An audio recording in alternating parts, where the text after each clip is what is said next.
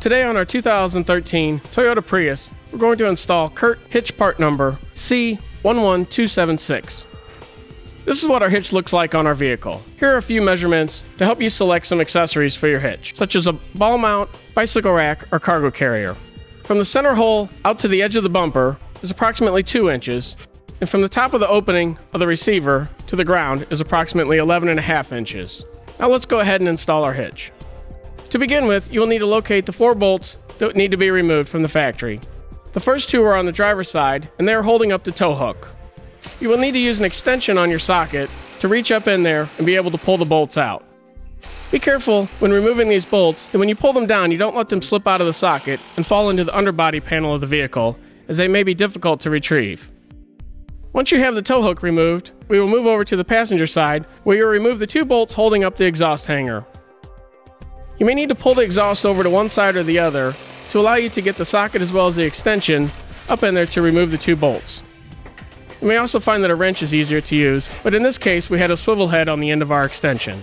Now that you have these four bolts removed, you will not reuse them.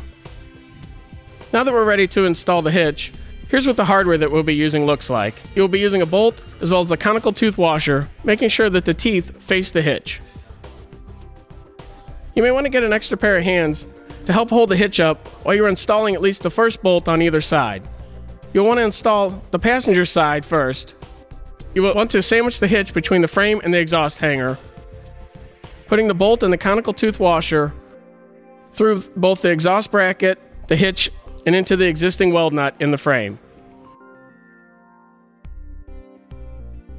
On the driver's side, it'll just be the bolt, the conical tooth washer with the teeth facing the hitch, threaded into the existing weld nut in the frame.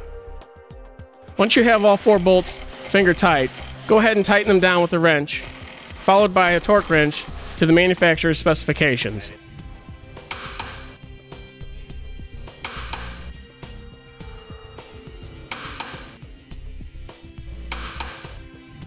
And there you have it. That'll complete the installation of our CURT hitch, part number C11276 on our 2013 Toyota Prius.